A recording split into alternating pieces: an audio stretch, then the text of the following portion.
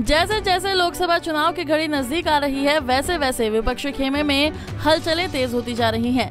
नतीजा ये हो गया है कि केंद्र की मोदी सरकार के बढ़ते प्रभाव और भाजपा को लगातार मिलने वाली जीत से ये पार्टियाँ बौखलाई हुई नज़र आ रही हैं। बीजेपी विरोधी दलों की इस बौखलाहट को समझना है तो आप हाल ही में कुछ दिनों से जारी उन मुलाकातों से समझ सकते हैं, जिस दौरान राहुल गांधी और कांग्रेस अध्यक्ष खड़गे के साथ नीतीश और शरद पवार जैसे दिग्गज नेता मिल रहे हैं मोदी के खिलाफ तैयारी हो रही है इस विपक्षी एकता को लेकर अभी तक क्या हुआ और किस फॉर्मूले के तहत भाजपा से लड़ने की बात हो रही है, इन तमाम मुद्दों पर हम नज़र डालेंगे, लेकिन उससे पहले इस गठबंधन को बनाने में जुटे नेताओं की मुलाकात कैसी रही, उसे जान लीजिए। बिहार के मुख्यमंत्री नीतीश कुमार और डिप्टी सीएम तेजस्वी यादव ने कांग्रेस अध्यक्ष मल्लिकार्जुन खड़गे के आवास पर एक अहम बैठक की। इसके बाद तेजस्वी और नीतीश ने आप प्रमुख अरविंद केजरीवाल से मुलाकात की। इस बैठक के बाद बिहार के मुख्यमंत्री ने कहा कि गठबंधन को एकजुट करने का प्रयास किया जा रहा है। हम सब साथ बैठेंगे और चीज़ों को तय किया जाएगा। हमारी इसी मुद्दे पर अंतिम तौर पर बात हो गई है, जिसमें जितने लोग हमारे साथ सहमत होंगे हम उनके साथ बात करेंगे। इसके अलावा पिछले दिनों खड़गे एनसीपी प्रमुख शरद पवार से मिले, जिनके साथ राहुल गांधी भी मौजूद रहे। इस दौरान ये सभी नेताओं ने बीजेपी के खिलाफ एकजुट होकर लड़ने की बात कही। इस मुलाकात के बाद कांग्रेस नेता राहुल गांधी बिहार के सीएम की बातों में हामी भरते हुए नज़र आए। राहुल गांधी ने कहा कि जो नीतीश जी कह रहे हैं, उनकी बात बिल्कुल सही है। विपक्ष को एक करने में बहुत ऐतिहासिक कदम लिया गया है। कितनी विपक्षी पार्टियों को इकट्ठा करना है, ये एक प्रतिक्रिया है। विपक्ष का जो भी नज़रिया है, उसे हम विकसित करेंगे और जो भी पार्टियाँ जिस विचारधारा की लड़ाई के साथ आना चाहती हैं, उसको लेकर चलेंगे। जो देश और संस्थानों पर आक्रमक हो रहा है, उसके खिलाफ हमें लड़ना है।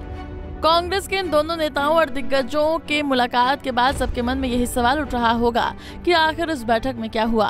क्या इस मीटिंग से विपक्षी एकता मज़बूत हो पाई? इसे समझने के लिए हमें कुछ मीडिया रिपोर्ट्स के हवाले से दी गई कांग्रेस नेताओं के कुछ बयान देखने होंगे, जिसमें वो ये बैठकों को काफ़ी फ्रंट फुट पर बता रहे हैं।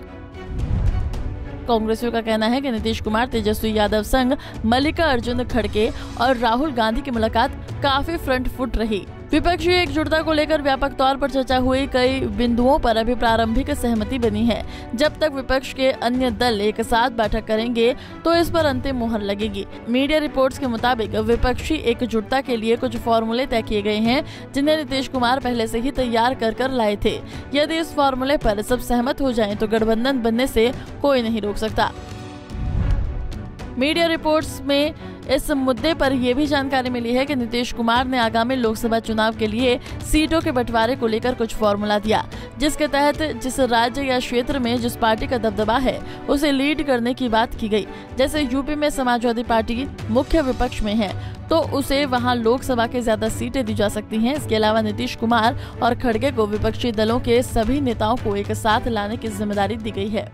बहरहाल गैर भाजपा दल को एकजुट करने के लिए बिहार के सीएम के द्वारा लाया गया फॉर्मूला कितना कारगर होगा, ये तो आने वाला समय बताएगा, लेकिन जिस तरह से नीतीश कुमार ने विपक्षी एकता को साधने के लिए जो सूत्र अपनाया है, वो कहीं ना कहीं देश की अन्य क्षेत्रीय पार्टियों में खलबली ज़रूर मचा देगी, क्योंकि सीबीआई ईडी के दुरुपयोग जैसे मुद्दे पर गैर बीजेपी पार्टियाँ एकजुट तो हो सकती हैं, लेकिन सीटों का बंटवारा किसी ग्रहण रूपी चुनौती से निपटने जैसा होगा जिनसे बाहर निकलने और केंद्र की मोदी सरकार को हटाने के लिए एक मज़बूत गठजोड़ की ज़रूरत पड़ेगी bureau report Punjab Kesari TV हमसे जुड़े रहने के लिए हमारे YouTube चैनल को सब्सक्राइब करें और नई वीडियो की नोटिफिकेशन के लिए बेल आइकॉन को दबाएँ।